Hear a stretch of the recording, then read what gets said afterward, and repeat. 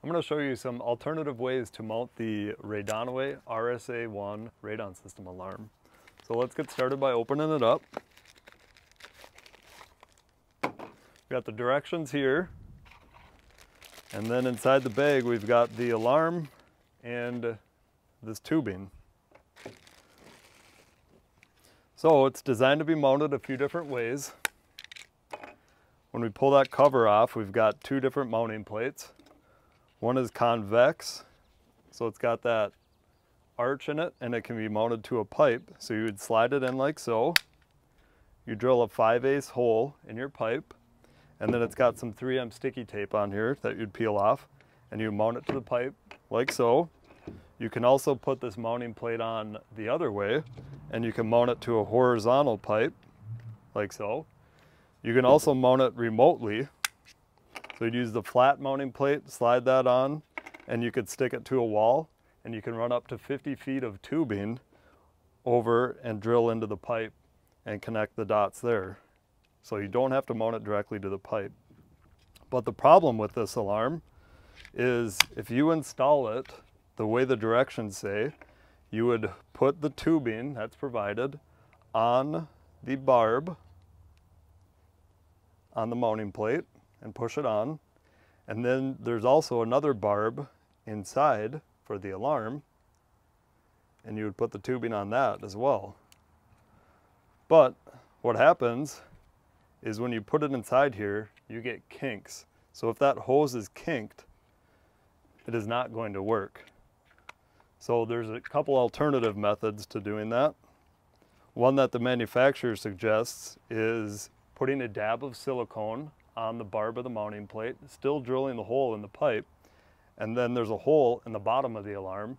You would run the tubing through that hole and attach it or drill a 3 16 hole in the pipe and attach it something like that. Obviously it's going to come out down here so it looks a little cleaner, but I don't really like that. I want something cleaner and uh, I choose to mount to kind of modify mine so that the tube is still all inside the pipe and it's just a nice cleaner look. There's no kinks on it at all. So I'll show you how to do that. So the first step is to drill a quarter inch hole right above the battery. So I'm gonna use my drill to do that.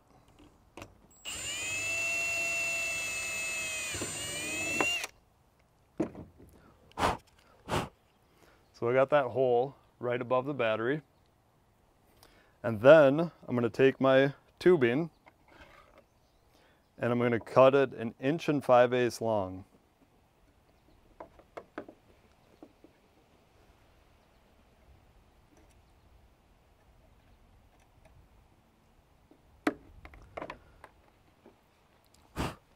So now I mount mine vertically all the time. So I'm going to put just a little bit of glue on here so that it stays solid and is not wiggling around on there when the customer goes to test it since it won't lock into place like it would if we slid it all the way up. So just a little bit of glue on there. You want to make sure that I don't, when I slide it on, that it does not cover the end of that with glue. So I'll slide that in and line it up with my hole. Like so. And now I'll take my tubing and I'm going to push it down on the barb.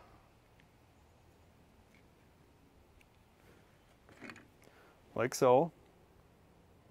And then I'll take the other end and stick it onto the alarm. Like that. So now you can see we don't have any kinks in that and we've got a nice clean install once we put our cover on. I'm to mount to the pipe just like that when I take off the adhesive tape. So just an alternative method to mounting the RadonAway RSA1 radon system alarm. I'm Jesse with American Radon. Thanks so much for watching.